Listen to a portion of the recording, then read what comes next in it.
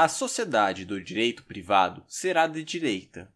Autor Michael Joseph. Tradução de Pedro Dias. Recentemente escrevi um blog sobre trabalho numa sociedade de direito privado.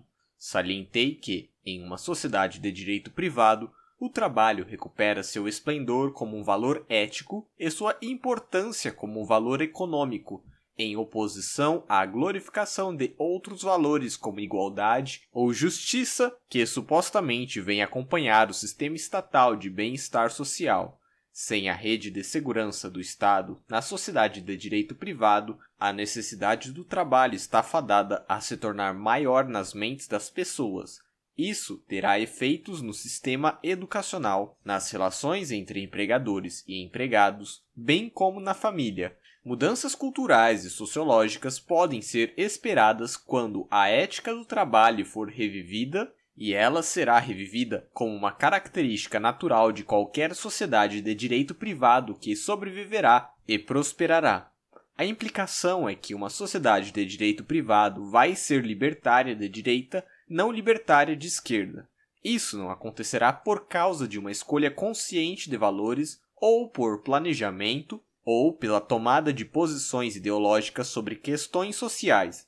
Isso acontecerá porque o renascimento do estímulo ao trabalho e o renascimento do individualismo, em oposição à ação coletiva do governo, tem a tendência inerente ou natural de reviver certos valores e relacionamentos tradicionais. Considere o que acontece quando o imposto de renda é encerrado. Eu afirmo que os efeitos resultantes são libertários de direita, em tom ou caráter, eles se conectam a efeitos que os críticos austríacos do governo enfatizam. O imposto de renda faz com que a atividade não orientada ao mercado aumente. Sua abolição permitirá que mais atividades ressurjam como atividades de mercado. Especialização e divisão do trabalho aumentam. Maior importância para o mercado é libertário de direita em caráter e em ênfase. O imposto de renda financia o consumo do governo. Sua abolição resulta em maior investimento. Isso também é de caráter libertário de direita. O imposto de renda causa maior preferência temporal e consumo. Sua abolição produz menor preferência temporal e mais acumulação de capital. Isso, novamente, é libertário de direita em ênfase. Minha afirmação é que os libertários de esquerda enfatizam questões esquerdistas, que são muito diferentes das questões econômicas. A sociedade de direito privado não vai visar especificamente a justiça social no sentido que os esquerdistas e os libertários de esquerda valorizam muito, a não ser os esforços para esclarecer os arrendamentos das propriedades privadas que podem ter sido suscitadas por meios coercitivos e as evidências de que melhores titulares existam. Por exemplo, várias formas de discriminação não serão explicitamente proibidas, como é o caso hoje.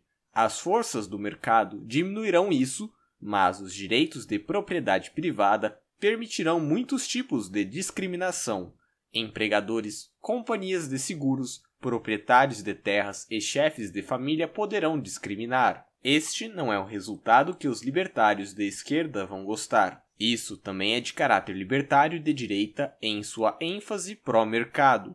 A sociedade de direito privado não se preocupará com a distribuição de renda produzida por decisões privadas e livres tomadas por seus membros. Isso claramente não combina com o pensamento libertário de esquerda.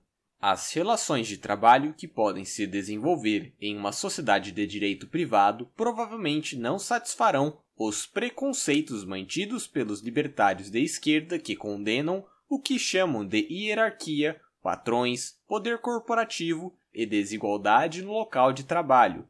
Essa é outra área significativa na qual uma sociedade de direito privado viável, de tamanho e escopo significativos, provavelmente será mais consonante com o libertarianismo de direita. As relações de trabalho podem ser bem detalhadas. Os empregadores podem querer contratar pessoas que sejam limpas, vestidas de forma conservadora, livres de drogas, sóbrias, sem tatuagens, educadas, cordiais, alegres, minuciosas, honestas e etc. é provável que haja discriminação e é bem possível que os requisitos de trabalho irão parecer conservadores em um sentido amplo em oposição a democrático e igualitário, também em um sentido amplo. O libertário de direita pode novamente vencer, mas definitivamente haverá casos em que os empregadores podem querer contratar pessoas que usem vestidos e roupas chocantes, cabelos coloridos, joias sensuais e etc. As diferenças entre homens e mulheres definitivamente surgirão porque as mulheres são mais hábeis em alguns trabalhos que os homens e vice-versa. Isso ainda é da natureza libertária de direita, porque o mercado está combinando pessoas com ocupações e não sendo forçado a usar métodos arbitrários de contratação. A sociedade de direito privado premiará a autoridade moral que é conquistada, testada pelo tempo e que sobreviva aos testes de mercado. Isso não é consonante com as ideias libertárias de esquerda. Elas dependem de suposições sobre autoridade baseadas em categorias ad hoc ou características que não medem autoridade moral. Para citar um libertário de esquerda, abre citação, mas os libertários de esquerda enfatizam que o compromisso com a igualdade moral, que constitui a base da crença na igualdade de autoridade, deveria implicar a rejeição de subordinação e exclusão com base na nacionalidade, no gênero, na raça, na orientação sexual, no status do local de trabalho ou outras características irrelevantes. Fecha citação. Os empregadores numa sociedade libertária de direita estarão livres para contratar imigrantes que possuam características desejáveis e que não sobrecarreguem a sociedade. Da mesma forma, eles serão livres para recusar os imigrantes indesejáveis a presença de tais filtros e discriminação provavelmente não satisfará os libertários de esquerda. Eu reconheço que o que estou dizendo depende de como o libertarianismo de esquerda é caracterizado, e isso pode variar de uma panelinha ou até mesmo de uma pessoa para outra. No entanto, penso que o meu ponto principal vai ficar de pé, que é isso: uma ordem de mercado tenderá a ser mais consistente com o caráter libertário de direita do que libertário de esquerda.